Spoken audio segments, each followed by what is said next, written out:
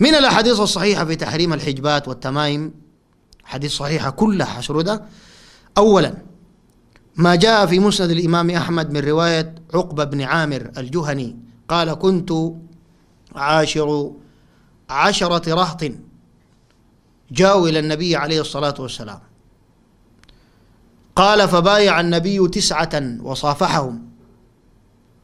وأبى أن يبايع واحدا. قيل لما يا رسول الله؟ قال إنه معلق تميمة. سبحان الله الرسول رفض يبايعه لأنه لبس له حجاب. إنه معلق تميمة. فأدخل الرجل يده في جيبه فقطعها ورمى بها. فقال النبي عليه الصلاة والسلام من تعلق تميمة فقد أشرك. الحديث الثاني. أورده المنذري في صحيح الترغيب وصححه الألباني. في صحيح في أورد المنذري في الترغيب وصححه الألباني في صحيح الترغيب والترهيب. من رواية عيسى ابن عبد الرحمن ابن أبي ليلى رحمه الله قال دخلت على عبد الله بن عكيم أو عكيم وهو أبو معب أبو معبد الجهني. وبه حمرة والحمرة مرض زي الطاعون قريب للطاعون مرض خطير جدا. يعني تعبان تعب شديد هذا الصحابي عبد الله بن عكيم رضي الله عنه. فقلت يا عبد الله ألا تعلق؟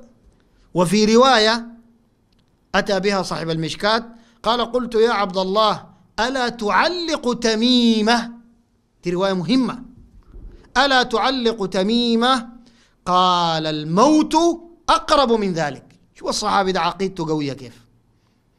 لما الرجل ده قال لعلق فالصحابي عقيدة متينة. قال للموت أقرب من ذلك أخر لي أموت مما علق لي حجاب. أموت مما يعلق لي حجاب. وفي رواية أيضا قال نعوذ بالله من ذلك. ليه؟ لأنه علموا أنه تمام والحجبات دي شرك وكفر بالله. عشان كده قال نعوذ بالله من ذلك من الشرك. وقال الموت أقرب من ذلك. قال قال رسول الله صلى الله عليه وسلم من تعلق شيئا وكل إليه. والرواية دي بترد على شبهات كثيرة أعظمها الصبي بيقول لك لا أنا معلق لي حجاب من ابويا الشيخ تاع الطريقة شيخ الطريقة. أو كذا أو كذا أو كذا. هنا قال من تعلق شيئا شيئا. لو علقت أبوك الشيخ ذاته عشان ينفعك أو يضرك أو لو ما لبسته علقته لكن تعال علقت به قلبك برضه تدخل هنا وكل إليه. يعني ربنا سبحانه وتعالى يكلك إلى ما تعلقت به من غير الله عز وجل. لأنه رب اللي بيتوكل على ربنا ربنا بيكفيه. أما اللي بيلبس له حجاب لما توكل عليه خليه يكفيه. هكذا. ربنا قال ومن يتوكل على الله فهو حسبه. الحديث الثالث من رواية ابن مسعود رضي الله عنه قال سمعت رسول الله صلى الله عليه وسلم يقول إن, إن الرقى والتمائم والتولة شرك. الرقى نوعين من القرآن والسنة دي جائزة النوع الثاني يقول بيعملوها شيوخ الطرق والفكية يقول لك جيب تيس أحمر بنفسجي نطبعه أو نفتح لك الكتاب أو شنو. شغل بتاع شياطين وبتاع جن. ده هو الشرك المقصود في الحديث. ده الرقية الشركية المقصودة في الحديث أما التمائم جمع تميمة هي الحجبات دي ذات اللي بيلبسوها هنا وبيلبسوها هنا وبيلبسوها هنا. والتي ولا ده عرق المحبة. برضه بيعملوه شيوخ الطرق عشان يقول لي يغش المرأة يقول لها عشان راجلك ما يعرس فيك. تحببك لراجلك أو يعملوا لتحبيب الرجل للمرأة والمرأة للرجل. النبي عليه الصلاة والسلام قال الثلاثة دي شرك بالله سبحانه وتعالى. الحديث ده عنده قصة إنه عبد الله بن مسعود دخل على زوجته اسمها زينب ولقاه معلق لها خيط وقطع وقال أصبح آل ابن مسعود أغنياء عن الشرك وقالت له كنت بمشي لفلان اليهودي وعيني كانت تقذف ورغلي في الخيط. القصة دي الشيخ الألباني جابها في بعض كتبه زي غاية المرام.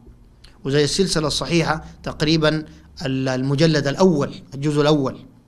وجاب إنها صحيحة القصة دي. لكن بعد ذاك في قدام لما مجلس في السلسله الصحيحه بألف فيها اكتشف إنه القصة دي ما صحيحة. مش الحديث القصة. إنه دخل على زوجة زينب وكان تمشي ليهودي ويرغي لها وكده. دي باطلة. لأنه ما ممكن مرة الصحابي تمشي ليهودي يرغي لها. ده واحد. اثنين اسناد ذاته باطل. الشيخ الألباني ناقشه.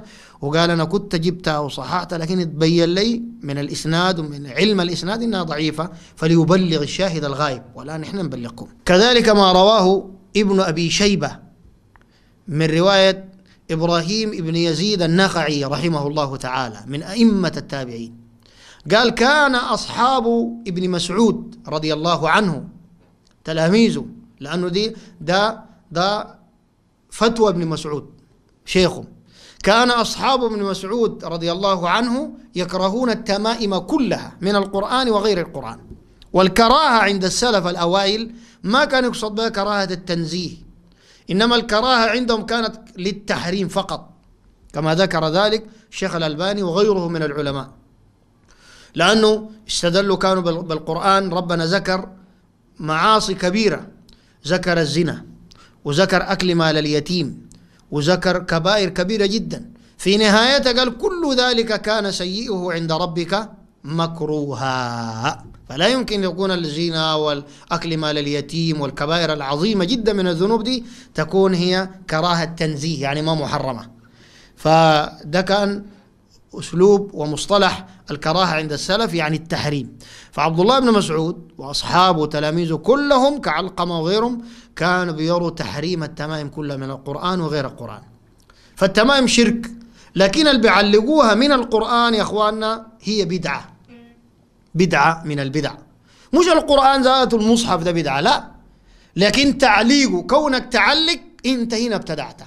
لأن القرآن ربنا نزله أولا لنتدبر ونعمل به. كتاب أنزلناه إليك مبارك ليتدبروا آياته.